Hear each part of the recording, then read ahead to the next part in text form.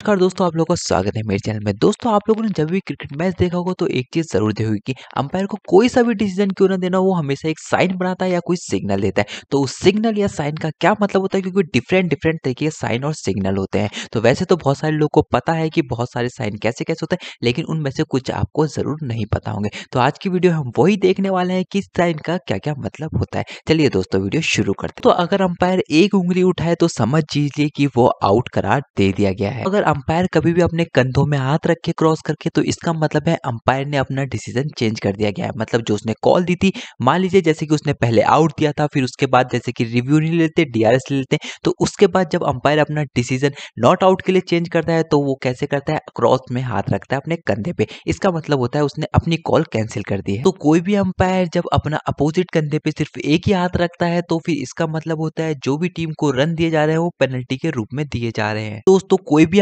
Ball को हाथ में उठाकर हवा में लहराता है मतलब आप लोगों ने देखा होगा टीम में जैसे कि स्क्रीन पे दिख रहा होगा। अगर ऐसे करता है तो इसका मतलब है कि नई बॉल लाई जाए। कोई भी अंपायर अगर आपको नीचे दोनों हाथ क्रॉस में हिलाते हुए दिखे तो इसका मतलब है वो बॉल डेड बॉल दे दी गई है। या फिर नॉट आउट भी बोल देते हैं उसको, लेकिन अंपायर नॉट आउट में जवान से भी कहता है कि वो नॉट आउट है। लेकिन डेड बॉल में सिर्फ़ सिग्नल से ही काम चल जाता है। अगर कोई भी अंपायर अपने सीधे कंधे के सामने एक हाथ खड़ा करे तो इसका मतलब है कि वो नो बॉल है। भी अंपायर अपने दोनों हाथ कंधे के सीधे में खड़े करे तो इसका मतलब है ये वाइट बॉल दी गई है। पैर कभी भी आपको वो हाथ उठाते हुए दिखे और उसी कंधे पे रख ले तो इसका मतलब समझ लीजिए ये जो रन है, वो शॉर्ट रन दिया गया है, जो कि आपकी स्क्रीन में दिख रहा हो। अगर अंपायर कभी भी पैर की तरफ़ इशारा करे तो इसका मतलब समझ लीजिए ये लेग बाय का रन है। दोस्तों, अंपायर अपना सीधा हाथ खड़ा करे और हथेली को खोल के रखे तो इसका मतलब ये जो रन हुए हैं, वो बाय के रन है। इसको मतलब खुद ही रन ले लिए गए हैं, वो जैसे कि बॉल बैट में नहीं लगी और